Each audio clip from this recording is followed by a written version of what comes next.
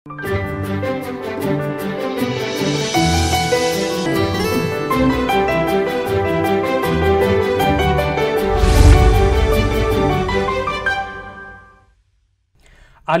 थालीसम्म गोठदेखि ओठसम्म आवाजविहीनको आवाज यो हो कृषि टेलिभिजन। हामी छौँ चौबिसै घन्टा तपाईँको साथमा कृषि टेलिभिजनको विशेष प्रस्तुति कृषि संवादमा यहाँहरूलाई हार्दिक स्वागत छ। म हो असीम सापकोटा।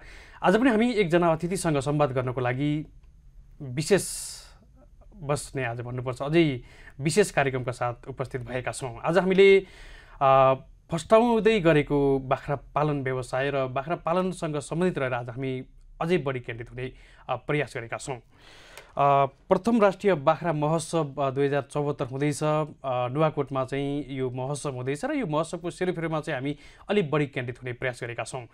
यही मा फागुन चाहिँ सोह्र गतेदेखि छब्बिस गतेसम्म नुवाकोटको विदुरमा चाहिँ जुन कार्यक्रम हुँदैछ र यो विषयलाई हामीले आज अलिक बढी केन्द्रमा राखेर उठाउने प्रयास गरेका छौँ। व्यावसायिक बाख्रा पालन नेपालीको सान मासुमा आत्मनिर्भरता राष्ट्रिय अभियान भन्ने नारासहित यो महोत्सव हुँदैछ र यो महोत्सवको आकर्षक के कस्तो छ? यो महोत्सवले चाहिँ बाख्रा पालक कृषकलाई साँच्चीकै प्रबोधन गर्छ त अथवा मासुमा आत्मनिर्भर बनाउनको लागि सहयोग गर्छ त? हामी यस्तै यस्तै विषयमा छलफल गर्ने प्रयास गरेका छौँ। आज हामीसँग हुनुहुन्छ नेपाल व्यावसायिक बाख्रा पालक महासङ्घका अध्यक्ष श्याम कुमार पोखरेल हुनुहुन्छ। आज हामी उहाँसँग संवाद गर्दैछौँ। यो मेलाको बिचमै छौँ हामी किनकि फागुन सोह्र गतेदेखि छब्बिस गतेसम्म यो मेला जारी नै छ। त्यसैले पनि मेलामा के भइराखेको छ र अब आगामी दिनमा के के हुँदैछ यो विषयमा पनि हामी केन्द्रित हुँदैछौँ। श्याम सर नमस्ते यहाँलाई हार्दिक स्वागत छ। धन्यवाद। नमस्ते। आराम हुनुहुन्छ है? ठिक छु। यो मेलाको प्राइम समयमा चाहिँ स्टुडियोसम्म आउनु भएको छ। हामी धेरै आभारी छौँ। धन्यवाद। केमा व्यस्त हुनुहुन्छ? मेलाको मेलाकै विशेष मेलाको तयारी मेला चाहिँ चलिराखेका छ त्यसमा चाहिँ नि व्यवस्थापनकै पाटोमा लागिराखेका छौँ। यो मेला नुवाकोटको विदुरमा हुँदैछ। यो मेला कस्तो खालको मेला हो? किन आयोजना गरियो? यो जानकारी दिनुहोस् न। हाम्रा धेरै दर्शकहरूले यो मेलाको विषयमा चाख लिएर सुन्नु भएको छ। विशेष गरेर त हाम्रो नेपालमा कृषिको एउटा पाटो भनेर चिनिने व्यावसायिक बाख्रा पालक पालनलाई चाहिँ हामीले फोकस गरिराखेको अवस्थामा विभिन्न सरकारी निकाय प्लस महासङ्घ प्लस चाहिने बाख्रासँग सरोकार राख्ने सङ्घ संस्थाहरूसँग कोर्डिनेसन गरेर हामीले चाहिँ यसलाई चाहिँ प्रमोट गरौँ भनेर लगभग चार वर्ष अगाडिदेखि हामी चाहिँ यसमा लडिराखेका थियौँ। तल्लिन हुन खोज्नु भएको थियो। अहिले चाहिँ मेला सफल बनाउनु भएको छ। त त्यो त्यो खोजिराखेका थियौँ र त्यसलाई चाहिँ नि स्थापित गर्न हामी डेढ वर्ष अगाडि महासङ्घ भनेर हामीले चाहिँ नि मा के अरे राष्ट्रिय महाधिवेशन गरेर बाख्रा व्यवसाय सङ्घ स्थापना गऱ्यौँ। त्यस पछाडि बाख्रालाई चाहिँ कसरी हामी प्रमोट गर्ने अथवा चाहिँ कसरी राष्ट्रमा चिनाउने भनेर चाहिँ हामीले ती बाटाहरू खोजिराखेको अवस्थामा हामी पटक पटक मिटिङ बस्दाखेरि छलफल गरेर ल एउटा एक्जिबिसन गर्नुपर्छ अथवा महोत्सव कुनै न कुनै ठाउँमा हामी महोत्सव गरौँ।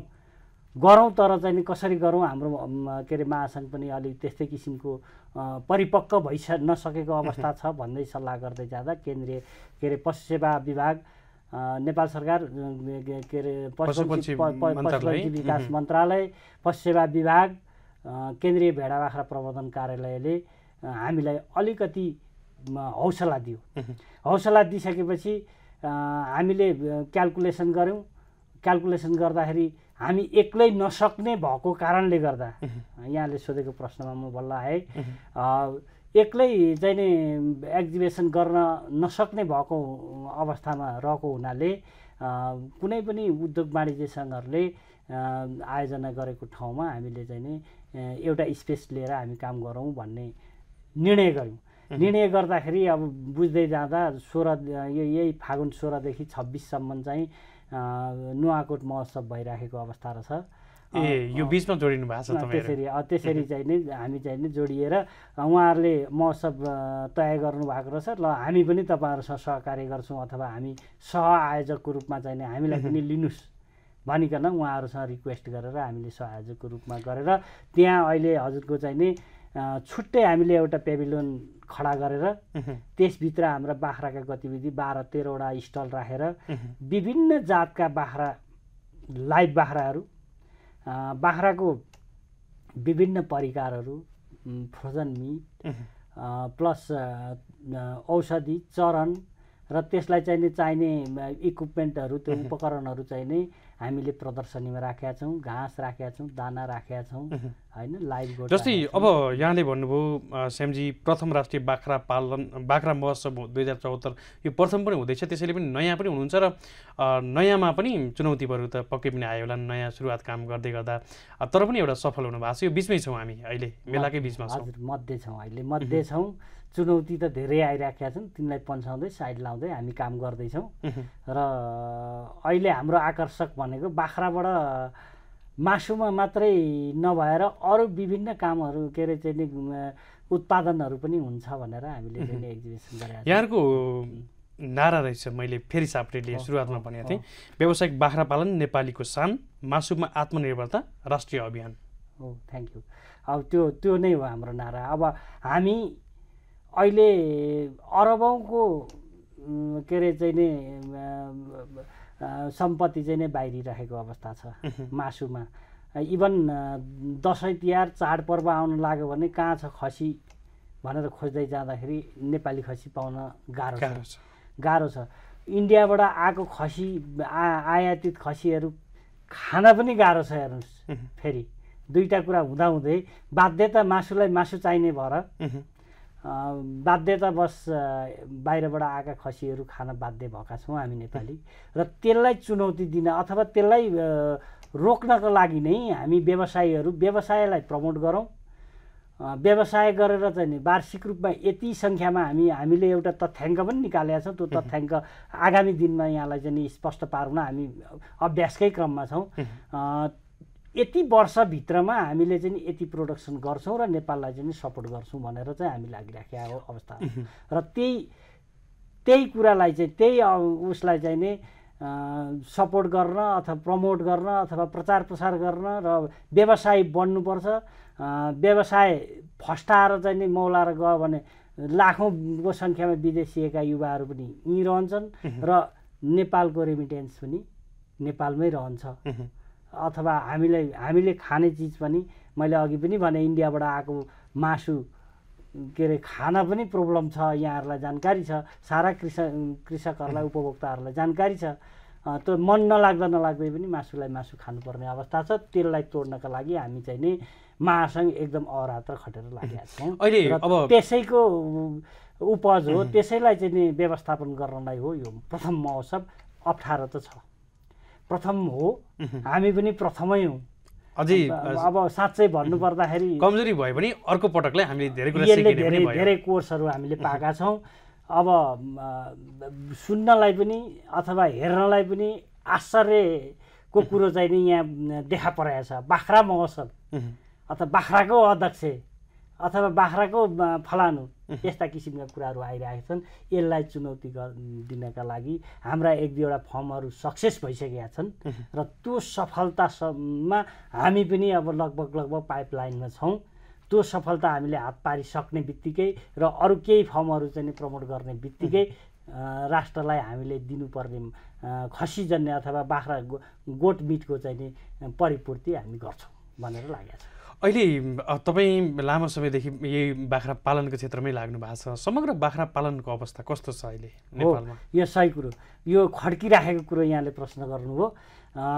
समग्रमा हेर्दाखेरि बाख्रा पालन व्यवसाय अहिलेसम्म बाहिर निस्किएर सक्सेस भएको अवस्था नरहेको छ। त्यो कुरो हामीले पनि महसुस गरेका छौँ। तर कुरो के चाहिँ हामीले पायौँ भने जहाँ आफ्नो लगानी हुन्छ नि। त्यो मान्छे त्यहाँ रहनुपर्छ र त्यसले प्रत्यक्ष निगरानी गर्नुपर्छ। अहिले हाम्रो कन् कन्सेप्ट के छ भने बाख्रा व्यवसाय स्थापना गरिदिउँ गाउँतिर आफू सहरतिर बसिदिउँ यताउता राजनीति साइन्ति पनि गरौँ टाकटुक गरौँ बाख्रा व्यवसाय छँदैछ के अरे अनुदान सनुदान लोनसोन आयो भनेपछि त्यो पैसा लिन्न उहाँ फर्म छँदैछ भन्ने किसिमको धारणा राखेर हामीले चाहिँ नि चल्दाखेरिको अवस्था बाख्रा अनसक्सेस छ। तर मैले लगानी गरेका छु मैले त्यसलाई चाहिँ नि बिहान बेलुका हेरेको छु। त्यो हुने बित्तिकै प्रत्येक व्यवसायीले त्यो के अरे चाहिँ प्रविधि त्यो त्यो तरिका अप्नाउने बित्तिकै बाख्रा सक्सेस हुन्छ आवश्यकता पूर्ति हुन्छ। जस्तो कि अब व्यावसायिक रूपमा पालिएका थोरै मात्रै फार्महरू होलान् अथवा यसरी चाहिँ बाहिर आउन सकिया छन् यहाँले भन्नुभयो अगाडि। र बाख्रा पालन भइ पनि राखेको छ। हामी परम्परादेखि पनि पाल्दै आएका छौँ र उन्नाइस बिसवटा पचासवटासम्म हामीले पहिलादेखि नै पाल्दै आएका बाख्राहरूलाई अझै अलि व्यवस्थित गऱ्यो भने व्यावसायिक रूपमा पाल्न सकिन्छ अलिक बढाउन सक्यो भने भन्ने कुरा पक्कै पनि यहाँहरूले यो कुरा सन्देश दिँदै पनि आउनु भएको छ होला।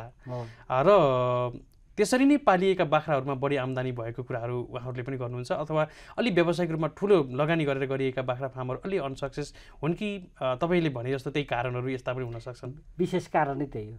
जसले लगानी गरेर काम गर्नुहुन्छ प्रत्यक्ष रूपमा उहाँ बस्नुहोस्। पहिलो पहिलो प्राथमिकता घाँस लगाउनुहोस् बाख्रालाई। त्यस पछाडि चाहिँ नि बाख्राले खान योग्य घाँस भइसकेपछि बाख्रा राख्नुहोस्।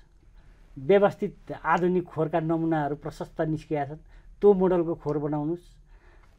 के अरे चाहिँ एउटा खोर बराबर कति बाख्रा राख्ने भनेर त्यो तथ्याङ्क आएछ त्यो त्यो त्यो रिपोर्ट आएछ त्यो अनुसारको चाहिँ नि बाख्रा राख्नुहोस् र व्यवसाय गर्नुहोस्। जतिसुकै लार्ज स्केलमा गए पनि सफल सफल। भइन्छ। त्यो लार्ज स्केलमा जाँदैखेरिमा चाहिँ नि अनसक्सेस हुने कुरो होइन। म आफू पनि एउटा उदाहरण। म काठमाडौँ बस्थेँ। व्यवसाय मेरो खोटाङमा। उदाहरण है यो। व्यवसाय मेरो खोटाङमा मान्छे राख्थेँ म प्रत्येकचोटि जान्थेँ बाख्रा चाहिँ नि हुँदैन थियो। अब यो साल लगभग मैले छ सात महिनादेखि म आफ्नो निगरानी कन्टिन्यू समय दिनुभयो यहाँले कन्टिन्यू समय दिइराखेका छु। म नभए मेरो परिवार अथवा चाहिँ मेरो प्रत्यक्ष लगानीकर्ता। अहिले मैले रिजल्ट राम्रो वेल रिजल्ट पाएको छु। हन्ड्रेड पर्सेन्ट म सक्सेस हुन्छु भनेर म छु। बाख्रा पालनको सवालमा। र अब यी कुरालाई चाहिँ नि समेट्दै प्रत्येक हाम्रा व्यवसाय महासङ्घका साथीहरूलाई यी कुरा चाहिँ नि उजागर गर्दै व्यवसाय गर्ने साथीहरूले आफ्नो निगरानीमा चाहिँ नि सबैले काम गर्नुपर्छ र बाख्राको आपूर्ति गटमिटको आपूर्ति पुरा गर्नलाई हामी महासङ्घ चाहिँ नि एकदम तल्लीन हुनुपर्छ भन्ने किसिमको परामर्श गरिकन अब हामी यो महोत्सव पछाडि एक प्रकारको चाहिँ नि हामीले एउटा कन्क्लुजन निकालेर हामी लाग्छौँ। व्यवसायीको वृद्धि गराउँछौँ बाख्रा व्यवसायीहरूलाई वृद्धि गराउँछौँ। हामीले चाहिँ जिल्ला जिल्लामा सङ्घ गठन गरेका छौँ जिल्ला सङ्घ लगभग हाम्रो त्रिचालिस जिल्लामा चाहिँ नि अहिले सङ्घ गठन भइसकेका छ। त्रिचालिस जिल्लामा फैलिसक्नु भएको छ। पुर्याइसकेका छौँ। अब क्रमशः हुँदैछ साथीहरू सम्पर्कमा आइराख्नु भएको छ। अब यो महोत्सवले गर्दाखेरि हाम्रो अहिले भएको सतहत्तरै जिल्लामा हामी महासङ्घको स्थापना गर्छौँ।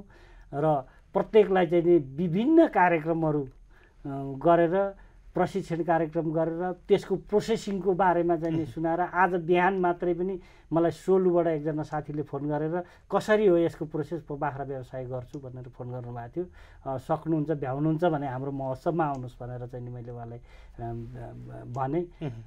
त्यो महोत्सवमै चाहिँ म आउन भ्याउँदिनँ। त्यसको दुई चार दिनपछि म आएर हजुरसँग भेटेर चाहिँ त्यसको व्यवस्थापन गर्छु भन्नुभएको छ। र धेरै साथीहरू यो व्यवसाय गर्न उत्साहित हुनुहुन्छ।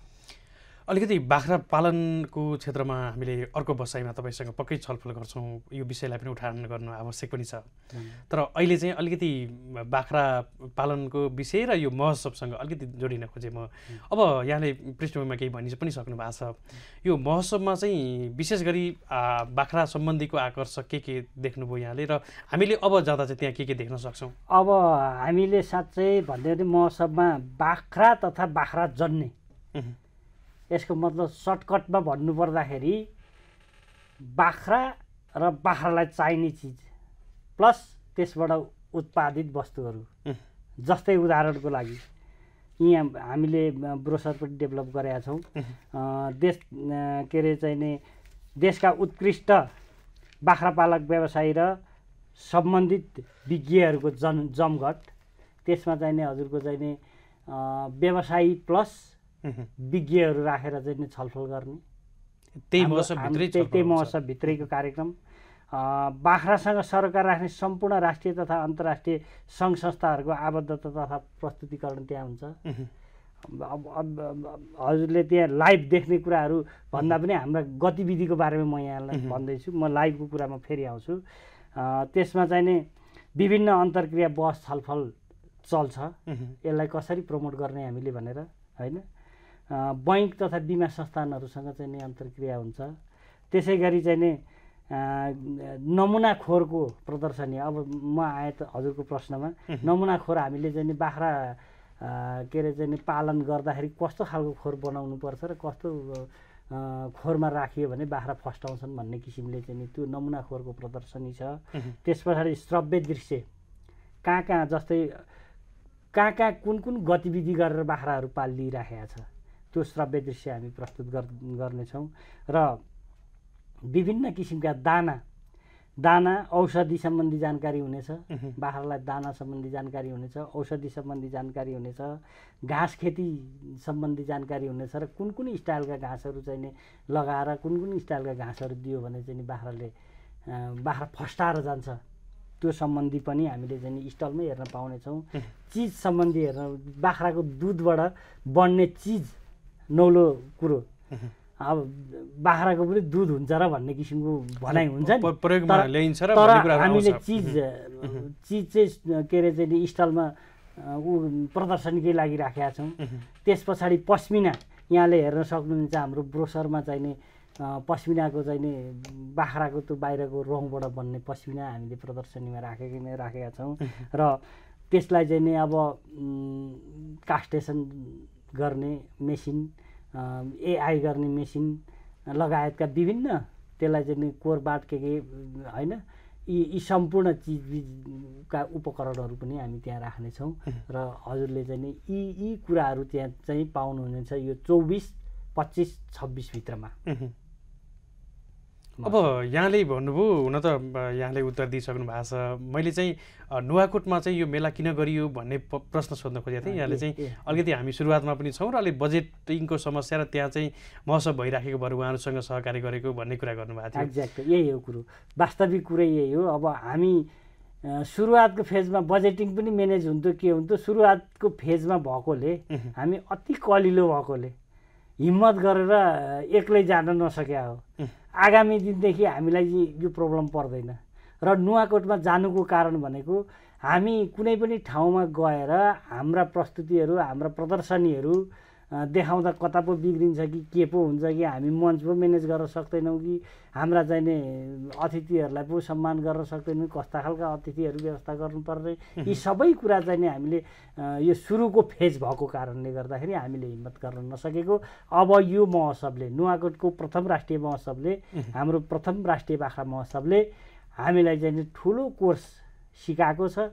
हामी अब चाहिँ जुनसुकै अवस्थामा जुनसुकै स्थानमा गएर पनि हामी यत्तिका महोत्सव चलाउन सक्सेस हुन्छौँ भन्ने पाठ यसले सिकाउनेछ हामी ढुक्क छौँ। अब बाख्रा पालन व्यवसायीलाई चाहिँ एउटा प्रवर्धन गर्ने कुरा पनि भयो है यहाँ चाहिँ। आगामी वर्ष यो अब यस्ता खालका मेलाहरू आवश्यक पर्ने रहेछन् भन्ने कुरा त पक्कै पनि यहाँहरू पनि सिकिहाल्नुहुन्छ। अब योभन्दा पछाडि लागौँ यो मेलाको आकर्षकको यहाँले भनिसक्नु भएको छ। अलिकति व्यक्तिगत कुरा मैले जोड्न चाहेँ। अब लामो समयदेखि बाख्रा पालनकै क्षेत्रमा लाग्नु भएको छ। यो क्षेत्रबाट चाहिँ सफल बन्नु भएको छ र अन्यहरूलाई सफल बनाउनको लागि यो दौडानमा दौडिराख्नु पनि भएको छ। अलिकति बाख्रा पालनसँगै जोडिएको पृष्ठभूमि बताइदिनुहोस् न। बाख्रा पालन चाहिँ नै मेरो व्यक्तिगत कुरो गर्नुहुन्छ भने विगत चार वर्षदेखि मैले चाहिँ नै एक्सर्साइज गरिरहेको छु। खोटाङ जिल्लाको हाल रूपाकोट मजुवागढी नगरपालिका वडा नम्बर पन्ध्र भैरमपुर भन्ने ठाउँमा मैले चाहिँ नि हलेसी कृषि तथा बाख्रा फारम नामाकरण गरेर विधिवत यो चाहिँ नि घरेलु विकास समितिमा दर्ता गरेर जिल्ला पशु सेवा कार्यालयमा दर्ता गरेर र लाहान करमा चाहिँ नि प्यान नम्बर लिएर वार्षिक कर तिरेर मैले चाहिँ नि सञ्चालन गरेको छु। र त्यसबाट लगातार मैले अघि पनि भने प्रत्यक्ष निगरानी नहुँदाखेरिका अनसक्सेस हुने कुराहरू एउटा पाटो रह्यो। तर जहाँ आफ्नो के अरे लगानी पर्छ त्यहाँ आफ्नो छाया पुग्यो भने पनि त्यो सक्सेस हुन्छ भन्ने प्रुफ म कहाँ भएको छ। त्यसै गरी अरू साथीहरूले अरू साथीहरूलाई पनि त्यसै गरी गर्नुपर्छ। र मैले भने राष्ट्रलाई नै सहयोग हुने गरी व्यावसायिकीकरण गरेर नै बाख्रा पालन गर्नुपर्छ। न कि हिजोको अवस्थामा जीविकोपार्जनको हिसाबले दुईवटा बाख्रा दुईवटा एकल गोरु एउटा भैँसी एउटा गाई अथवा दस रोपनी जग्गा धान कोदो मकै सबै गर्ने गरी गर्दाखेरि उत्पादनमा सपोर्ट हुँदैन। देशले चाहेको आर्थिक समृद्धि हुँदैन। त्यो भएको कारणले कृषि व्यवसायलाई हरेक सेक्टरलाई प्रमोट गर्नुपर्छ। त पनि के अरे चाहिँ हाम्रो पुर्खाहरूले भन्नुहुन्थ्यो कि धन आवे बाख्रा पाठा कि धन आवे लम्बे बाटा भन्नु घरैमा बसिराखेर त्यो किसिमको कुरो हुँदैन। के अरे चाहिँ कि बाख्रा पाठा गर्न पऱ्यो कि चाहिँ बाहिर विदेश जानु पऱ्यो यी दुईवटा कुरा। त्यसलाई काट्नका लागि हामीले चाहिँ यो महासङ्घले विदेश त जानै हुँदैन भन्ने किसिमको धारणा हामी प्रत्येक व्यवसायीहरूको छ। जति पनि त्रिचालिस जिल्लामा हामी छौँ सबैको आवाज एउटै छ। नेपालमा बसेर काम गर्नुपर्छ। र नेपालीहरू जति पनि विदेश जानुहुन्छ नि यिनै बाख्रा फारममा यिनै बङ्गुर फारममा यिनै कुखुरा फारममा त्यहाँको चाहिँ व्यवसाय प्रमोट गरिदिनुहुन्छ उहाँहरूले। त्यो जनशक्ति नेपालमा आएर बाख्रा पालौँ अथवा अन्य व्यवसाय गरौँ र यहाँले भन्नुभयो बाख्रा पालनको पृष्ठभूमि भनेर अलिकति मैले बताएँ पनि र बाख्रामा सबैभन्दा आय आर्जनको स्रोत बाख्रामा छ। प्लस व्यवसाय गर्ने व्यक्ति त सक्सेस हुन्छ नै आय आर्जनमा। प्लस राज्यबाट बाहिरिने जुन जति पनि कलेक्सन भएर अरबौँको सम्पत्तिहरू त्यो सेभ हुन्छ सुरक्षित हुन्छ। त्यो भएको कारणले गर्दा बाख्रालाई प्रमोट गरौँ बाख्रा व्यवसाय गरौँ आफू पनि धनी हौँ र राष्ट्रलाई पनि धनी हुन धेरै कुराकानी गर्ने विचार थियो। अझै प्रसङ्ग केही छुट्याउन् हामी अन्तिममा छौँ। लाखौँ दर्शकहरूले हेर्दै हुनुहुन्छ। के भन्न चाहनुहुन्छ? त सबै दर्शक महानुभावहरूले अब हाम्रो देश कृषि प्रधान देश भनेर स्वभावैले छ। कृषिको एउटा पाटो बाख्रा व्यवसाय हो। र सबैले उत्पादनमुखी व्यवसाय गरौँ। न कि जीविकोपार्जन गर्ने हिसाबले मात्रै नगरौँ। त्यसैले व्यावसायिक बाख्रा पालन गरेर राज्यमा आवश्यक परेको मासुजन्य पदार्थ चाहिँ पुरा गरौँ। राज्यबाट बाहिरिएको रेमिट्यान्सलाई राज्यमै कन्ट्रोल गरौँ। कुनै पनि तरिकाले राज्यमा कन्ट्रोल गरौँ र व्यवसाय गरौँ उद्यमी बनौँ। सम्पूर्ण कृषकहरूलाई उपभोक्ताहरूलाई यही भन्न चाहन्छु। यदि यो महोत्सवको विषयमा अथवा तपाईँलाई बाख्रा पालनको विषयमा कसैले सोध्न चाहेको खण्डमा कन्ट्याक्ट नम्बर सेयर गरिदिनुहोस् न। मेरो कन्ट्याक्ट नम्बर चाहिँ अन्ठानब्बे पन्ध्र छयत्तर सोह्र सत्तरी। अन्ठानब्बे पन्ध्र छयत्तर सोह्र सत्तरी। अन्ठानब्बे पन्ध्र छयत्तर सोह्र सत्तरी। सोह्र सत्तरी। यो नम्बरमा टेलिफोन गर्नुभयो भने यहाँले रेस्पोन्स गर्नुहुन्छ। सबै कुरा म चाहिँ नै बताइदिएँ व्यस्तताको बावजुद पनि हामीलाई समय दिनुभयो। हामी धेरै आभारी छौँ। यहाँलाई धन्यवाद ज्ञापन गर्दै विदा गर्न चाहन्छौँ। नमस्ते। धन्यवाद नमस्ते। हजुर हामीले आजको अतिथिलाई विदा गरिसकेका छौँ। आज हामीले नेपालमै पहिलो बाख्रा महोत्सव हुँदैछ। नुवाकोटको विदुरमा चाहिँ यो महोत्सव हुँदैछ र यो महोत्सवको सेरोफेरोमा रहेर हामीले यही महोत्सवका संयोजक श्याम कुमार पोखरेलसँग हामी छलफल गऱ्यौँ। आजको लागि कृषि संवादको समय सकिन सकिया छ।